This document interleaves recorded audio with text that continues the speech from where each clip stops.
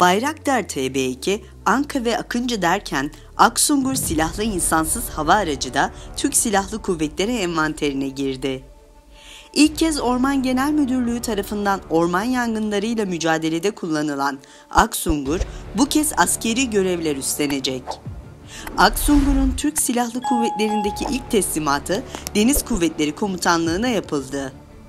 Halen Bayraktar TB2 ve Anka platformlarını kullanan Türk Deniz Kuvvetleri, Aksungur'la çok daha yüksek faydalı yük ve havada kalma sürelerine sahip bir SİHA'ya kavuştu. Aksungur SİHA 750 kilogram faydalı yük kapasitesine sahip bulunuyor ve 60 saate kadar uçuş gerçekleştirebiliyor. Bu da deniz kuvvetlerinin Ege ve Akdeniz semalarındaki etkinliğinin artırılması anlamına geliyor.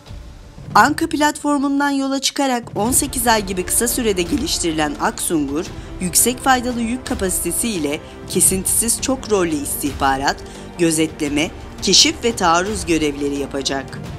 Aksungur SİHA sahip olduğu SATCOM faydalı yüküyle görüş hattı ötesinde yüzlerce kilometrelik operasyon esnekliği sunacak.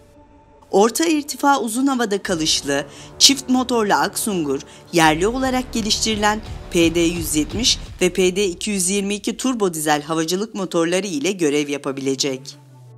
İlk uçuşunu 2019'da yapan Aksungur'a bugüne kadar 3 farklı elektrooptik kızılötesi kamera, 2 farklı SATCOM, 500 libre sınıfı Teber 8182, kanatlı güdüm kiti 82, yerli motor PD170 gibi birçok ekipman entegre edildi. Bu çalışmalara ek olarak 2021 yılının ikinci çeyreğinde ilk saha görevine başlayan Aksungur'un sahadaki uçuşu 1000 saati geride bıraktı.